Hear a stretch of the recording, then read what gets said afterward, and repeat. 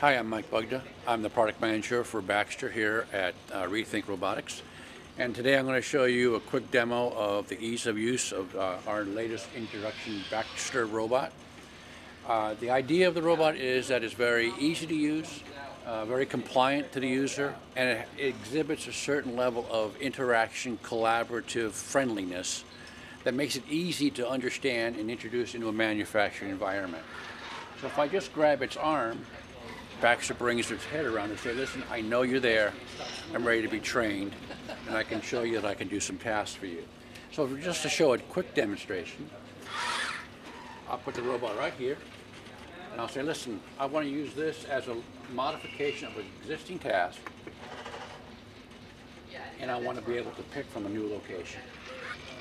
Now we can do a new job. And I pick a location right here and I say, okay, I'm going to pick up from this new, lo new location.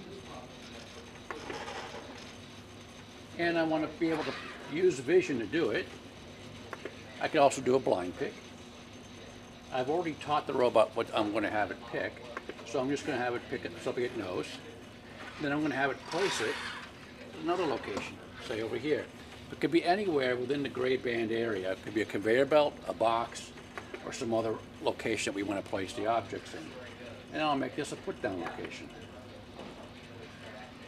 I'm done. I back out.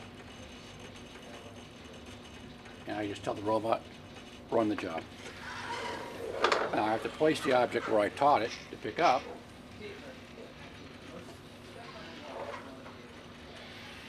And it will go down and pick up at that location. On the other side of your arm, it's doing a task of picking from a tray randomly, randomly placed objects onto a conveyor belt. And on the right arm, it's going to do 10 and it's going to stop. On this arm, it's going to continue doing it as long as it sees an object there.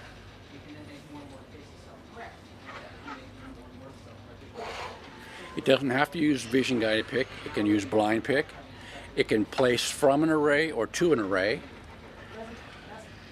and it has a lot of flexibility for different applications in low-end manufacturing uh, jobs. And that's essentially what the robot does today.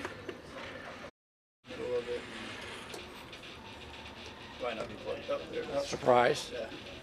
Sadness. And